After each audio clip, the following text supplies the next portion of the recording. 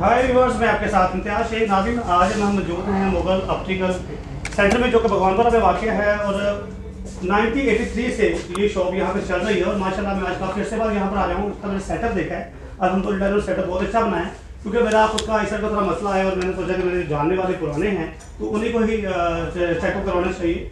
तो मुझे आकर यहाँ पर बड़ी खुशी और मैंने सोचा कि मैं इसका ब्लॉग निकालता हूँ आप तक यानी ये भी शेयर करते हैं कि यहाँ पर क्या फैसिलिटेशन दी जा रही है। मेरे साथ मौजूद है जनाब अकबर भाई सलाम सर कैसे? अल्हम्दुलिल्लाह बड़े चेंज हो गए माशाल्लाह। वक्त बदल बड़ी मुबारकबाद कि आपने बड़ा अच्छा सेटअप बनाया यहाँ बहुत शुक्रिया, तो बड़ा क्या क्या फैसिलिटेट कर रहे हैं यहाँ पे लोगों को मेरे पास ये मुकम्मल सिस्टम जो है ना किसी चीज़ पे मैंने कभी कंप्रोमाइज़ नहीं किया। हमारी कोशिश होती है सबसे बेहतरीन जो भी फैसिलिटीज़ हैं वो हम प्रोवाइड कर रहे हैं पब्लिक को। उसमें यही चीज़ हमारे लिए सबसे बेहतर है। हमारे पास बताइएगा कि इस वक्त जो आपके टीम मेंबर कितने हैं मेरे पास इस टाइम छः छः मेंबर हैं हम टोटल ठीक है तो डॉक्टर की क्या फैसिलिटी यहाँ पे है? मेरे पास दो डॉक्टर आई स्पेशलिस्ट हैं और बेहतरीन डॉक्टर हैं। किसी किसी भी आता है मेरे पास पैसे नहीं है आपसे फ्री आई टेस्टिंग बल्कि विद ग्लासी भी इसको फ्री कर बड़ी देते अच्छी बात है वो ये मालिक का करम है। सही। अच्छा ये बताइएगा कि इस वक्त देखा जाए तो ये जो ग्लासेस खाते पे पहले भी महँगा काम था अब और ज़्यादा महँगे हो गए लेंस वगैरह भी लोग यूज़ कर रहे हैं। तो इस पर आप क्या रिकमेंड करते हैं लोगों को कि उनको जो स्टार यूज़र हैं जो पहले यानी कि उनकी नज़र नहीं वीक होती तो फ़र्स्ट टाइम जब एनिक बनवाने के लिए आते हैं तो उनको कितना बजट चाहिए होता है? नहीं बजट तो देखा लिमिटेड है आपकी अपनी मर्ज़ी आप क्या खरीदना चाहते हैं? कुछ लोग ऐसे होते हैं जो सस्ती खरीदते हैं कुछ कहते हैं यार हमें आई फाई क्वालिटी चाहिए वो भी हमारे पास होती है। मेरे पास रोलेक्स डनएल प्राडा बेहतरीन लेटेस्ट ब्रांड के ग्लासेस होते हैं। जो अनलिमिटेड हमारी कोशिश रहती है हम बहुत माइनर सा प्रॉफिट रखें क्वालिटी पे कंप्रोमाइज़ ना करें। मेरे पास इंटरनेशनल लेवल पे लोग आते हैं हम बाहर बना के बेचते हैं।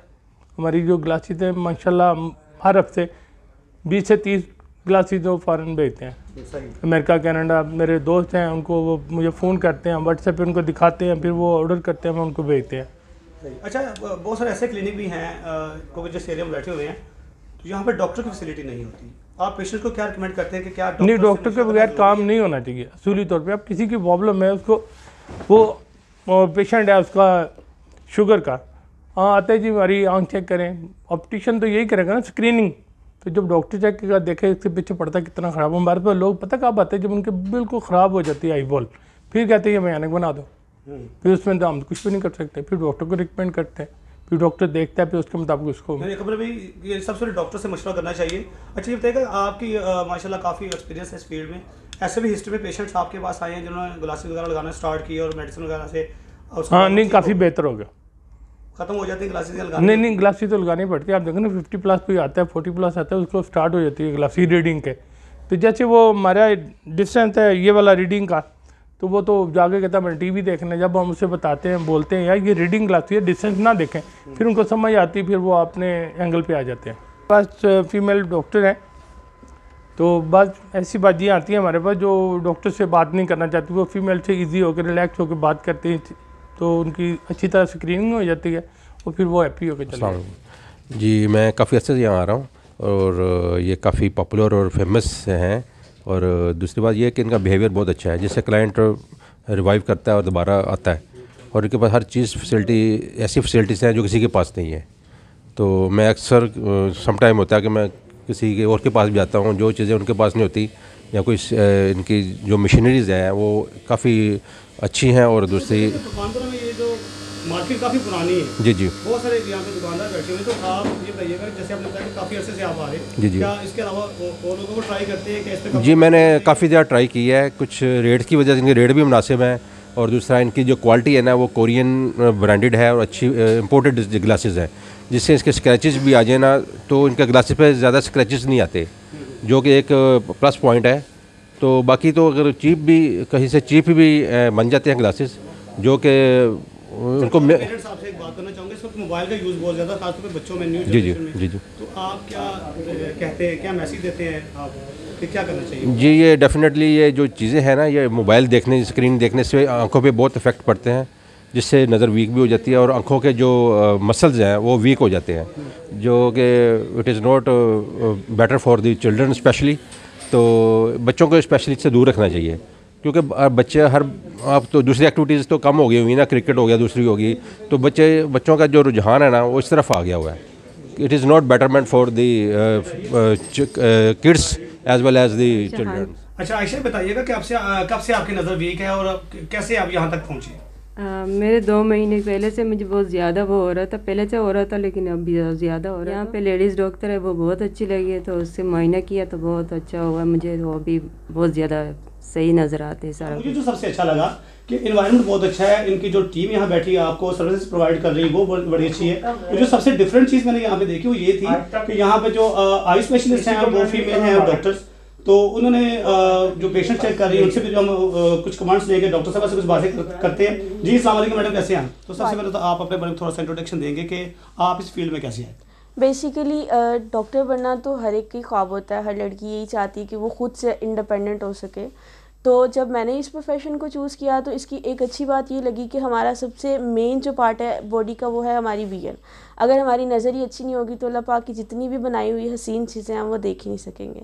तो ये इतना खूबसूरत सा पेशा है कि हम लोगों को उनकी नज़र बेहतर करके चीज़ें बेहतर तरीके से देखने के लिए दिखाते हैं उनको आदि आदि करते हैं. जो नहीं देख पाते हैं उनको हम उनकी ऐसे मदद करते हैं कि वो चीज़ें आसानी से डॉक्टर होने के नाते या आपको इस पेशे से वाबस्ता होने के नाते इसका अजर भी ज़रूर मिलता होगा. क्योंकि सदका जारिया भी है कि आप किसी को अच्छा मशवरा दे रहे हो या अच्छा राय दे रहे हो या उनकी आप नज़र बेहतर कर रहे हो। अच्छा आप ये बताइए कि आप का टाइमिंग क्या है यहाँ पे इस इस क्लिनिक में और इसके अलावा आप कहाँ पर बैठते हैं? इसके अलावा फ़िलहाल तो हमारे रोटेशंस होती हैं अलग अलग हॉस्पिटल्स में मेरी ड्यूटी होती है, कभी ट्री टॉप्स में होती है, कभी अलसान में होती है।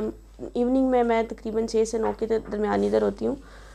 और उसके बाद यहाँ पे दूसरे डॉक्टर्स बैठते हैं जो मेल हैं, वो हमारे से भी सीनियर डॉक्टर हैं, वो उसके बाद नाइन टू अलेवन तक अलेवन ओ क्लॉक तक उनकी ड्यूटी होती है। डॉक्टर कैसा लगता है आपको जब आपके पास फीमेल पेशेंट्स तो आते हैं उनके साथ तो ज़्यादा कंफर्टेबल होते हैं? जब मेल पेशेंट्स भी आते हैं और उनको आप यानी जिस तरह ट्रीट कर रहे होते हो वो उसका थोड़ा सा एक्सपीरियंस बताइएगा अपना। बेसिकली पेशेंट हमारी नज़र में सिर्फ़ एक पेशेंट होते हैं। हम इस चीज़ से अलग होकर देखते हैं कि वो मेल है या फीमेल है। हमारे लिए वो इस हमारे पास इसलिए आते हैं कि उनको एक सिचुएशन का सामना करना पड़ रहा है जो उनको मुश्किल को पैदा कर रही है। हमारा काम है उनको ईजी होके उनके कंफर्ट के अकॉर्डिंग ट्रीट करना कि वो ईजी होके यहाँ तो एक आपसे सवाल करना चाहूँगा आपको बुरा नहीं लगे तो। ये बताइएगा कि जब आप ऐसे अदारा में काम कर रहे हो तो यहाँ बहुत ज़्यादा पेशेंट्स होते हैं रश होता है और आपको अपना टाइम भी देखना होता है तो ये बताइएगा प्राइवेट चेकअप में लोग कंफर्टेबल तो होते हैं कम पे, फ़ीस पे कर रहे हैं आपको और आप हमें अच्छे तरीके से चेक करोगे। क्या वहाँ भी आपका तरीकाकार यही होता है? बेसिकली तरीकाकार नहीं बदलता। जब हमारे पास पेशेंट की इन्वायरमेंट ज़्यादा हो जाती है ऐसी ओपीडी होती है जिसमें पेशेंट ज़्यादा हैं हमारे पास वहाँ पे डॉक्टर की टीम भी बड़ी हो जाती है। हम डॉक्टर्स जो हैं अपना काम डिवाइड कर लेते हैं। पेशेंट को तब भी वही प्रोटोकॉल्स मिल रहे होते हैं जो प्राइवेट सेटअप पे मिलते हैं और तब भी। प्राइवेट सेटअप पे सिर्फ़ एक चीज़ आपके पास आती है कि आपकी टीम वर्क जो है छोटा होता है पेशेंट को उनके कंफर्ट के मुताबिक टाइम ज़्यादा दे सकते हो, उनका, उनकी काउंसलिंग अच्छे से कर सकते हो। जो हम पेशेंट ओपीडी में आते हो, उनकी काउंसलिंग वगैरह उतने अच्छे से शायद ना कर पाएँ जितने हम प्राइवेट सेटअप पे कर पाते हैं।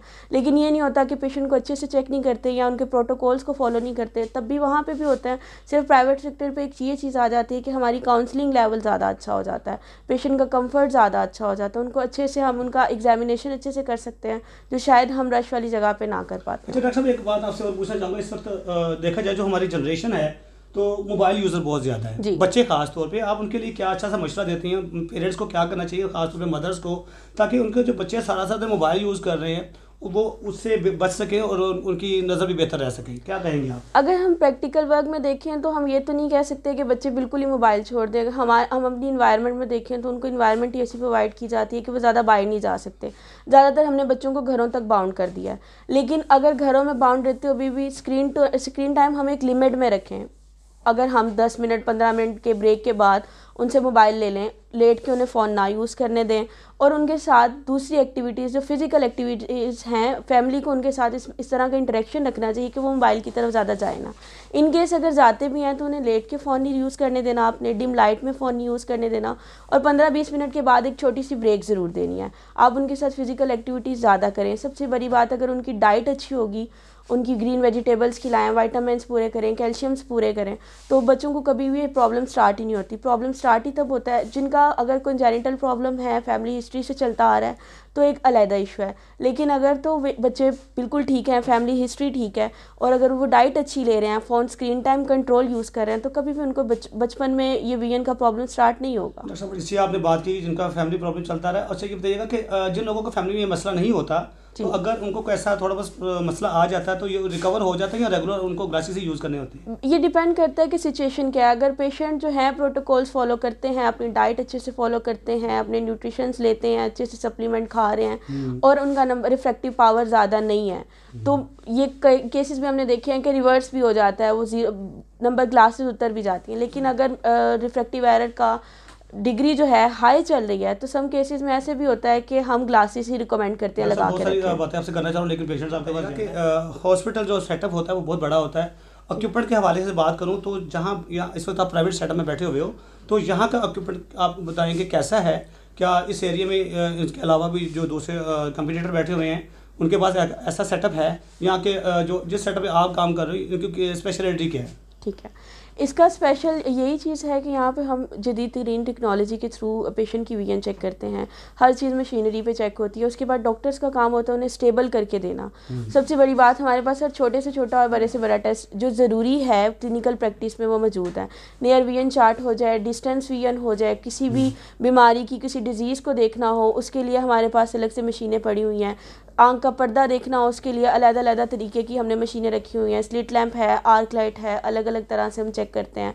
उसके अलावा कलर विजन टेस्ट अलग पड़े हुए हैं। इसलिए अगर ये देखा जाए कि आसपास के इलाके में इत, अगर प्राइवेट सेटअप को देखा जाए तो मेरा नहीं ख्याल कि इतनी जदीद टेक्नोलॉजी किसी और सेटअप में पड़ी हो देखा मैंने आपका कि आपकी फ़ीस पहले चार्ज कर ली जाती है। जी। बहुत से लोग ऐसे मुस्तक होते हैं जो शायद आपकी फ़ीस भी नहीं पे कर सकते हो है तो बिल्कुल नॉर्मल सी मामूली सी पैसे आपकी फ़ीस जो है तो उसके बाद ग्लासेस बनवाना फ्रेम पसंद करना उसके शीशे पसंद करना तो ये एक अलग से प्रोसीजर है। तो ये बताइएगा कि क्या अगर कोई पेशेंट आपके पास ऐसा आता है कि मुझे मेरे पास पैसे नहीं है तो तब आपका रद्द क्या होता है। वो उसे हम बहुत ज़्यादा अप्रिशिएट करते हैं। मेरे तक पहुँचने पहले इससे पहले ही मेरे जो एडमिन है मेरे सीनियर हैं यहाँ के वो उसको पहले ही डील कर देते हैं। वो खुद से ये चाहते हैं कि पेशेंट्स की नज़र अच्छी होनी चाहिए पैसे मैटर नहीं करते हैं। तो। हम इस चीज़ को ये नहीं देखते कि अगर किसी के पास पैसे नहीं है तो उसकी नज़र तो हमारे पास जब पेशेंट आते हैं तो ये इस उनको भी उतना ही स्पेशल प्रोटोकॉल दिया जाता है। मुगल हॉस्पिटल पे कभी भी ये नहीं देखा जाता कि किसी के पास पैसे हैं तो उसको ट्रीटमेंट मिलेगा। अगर पैसे नहीं है तो उनको ट्रीटमेंट नहीं मिलेगा। बहुत शुक्रिया डॉक्टर साहब आपका बहुत सारा टाइम लिया। व्यूवर्स आई होप कि आपको आज की वीडियो अच्छी लगी होगी। आपने मुगल ऑप्टिकल का मैंने आपको विज़िट करवाया और यहाँ की जो फैसिलिटी फैसिलिटेशन हैं वो भी आपको दिखाई। डॉक्टर साहब किस तरह काम कर रही है किस तरह वर्किंग हो रही है? यहाँ का स्टाफ किस तरह वर्किंग कर रहा है? और आपने देखा कि अकबर साहब का बड़ा अच्छा कहना था कि वो जब से काम कर रहे हैं और उन्होंने माशाल्लाह तरक्की भी बहुत की उस काम में जिद्दत भी लेके आए। और उनका ये भी कहना था कि कुछ ऐसे मुस्तक लोग जो वाकई अफोर्ड नहीं कर सकते आ, उनकी नज़र में कोई मसला है या ग्लासेस नहीं बनवा सकते तो उनका नंबर भी नीचे मौजूद है, आप देखते हैं, आप रब्ता करके अकबर भाई से मुलाकात करके आप उनसे बहुत सारी फेवर ले सकते हैं। इसी बात के साथ अपने होस्ट इम्तियाज़ शेख को इजाज़त दीजिए। फिर मुलाकात होगी। अल्लाह हाफिज़।